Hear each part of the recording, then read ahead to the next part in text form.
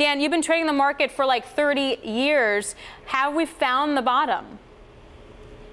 Well, I, look, Alix, I was on your show uh, on Thursday, and I said, you know, the, the, the market stops going down when the selling stops. But there is reason to believe that the selling is going to stop. Um, there, there has been. I've been trying for the last two weeks to find this connection between the hedge funds that have been selling oil and the algorithmic boxes that have been selling oil and something else in the market, either the dollar, some other FX, something in the equity market, some other asset, and I can't really find it.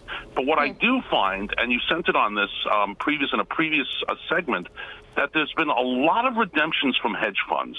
And these hedge funds are being forced to deliver back capital to investors on November 15th. So yesterday's kind of move, that two and a half dollar move where there really wasn't much in the market to spark it, felt to me like this kind of capitulation move, this mm. kind of last kind of gasp of hedge funds trying to raise capital for what will be an enormous number of redemptions that are going to come in in the next two days. You make a great point, Dan, that it's sort of that technical and what will happen after that redemption date happens, like next week, will we see a bottom here? But I do want to point out, and you brought this up to me last week, if you come inside the Bloomberg, it's net long positions for WTI as well as Brent. Obviously, there's been a nice little washout there. But Dan, we're not near the levels that we saw in 2015 and 2016 when we had other oil price sell-offs. Does that tell you something?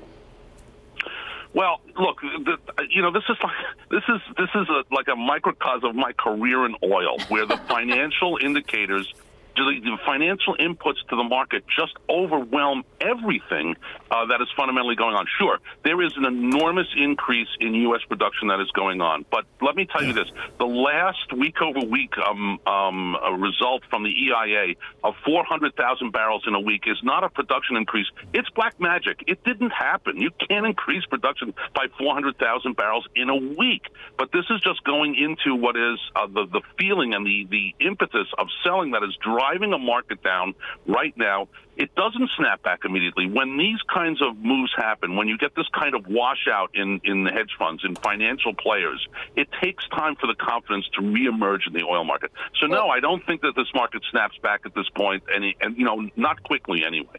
Well, and to your point, Dan, uh, if you come inside the Bloomberg one more time, at CCRV Go in particular, uh, it's looking at the amount each contract has moved over the last couple weeks. And I point that out, Dan, because the beginning of it is all going to be about 2019 and December 2018. Most of those contracts all moved at $9 or almost $9. That tells me that the market is concerned that once you get the pipe neck bottleneck issues resolved in the Permian, we could see a flood when we're already seeing record production in the U.S. Right. You're talking you're talking about the curve, and the curve has gone definitely from a backwardated to a contango state. But those spreads have not really moved to the degree that they probably should, considering that the oil market has gone down twenty dollars. I think the concerns look again, you're pulling so much product out of the Permian now. Of course, there are going to be uh, there's going to be better efficiencies when pipelines free up. But I don't know how they're getting it out of there. They're getting it out of there by truck, train. They're getting it out of there by mule. I don't know how they're getting it out of there, but they're getting it out of there. The numbers are astonishing. The amount of production that's coming out of West Texas is astonishing. So, yes, the pipelines do get freer, so there's a, a, better route for that oil to get out, but it's getting out now. That's not really going to be the issue. Mm. It's what's been going on in terms of the supply out of West Texas.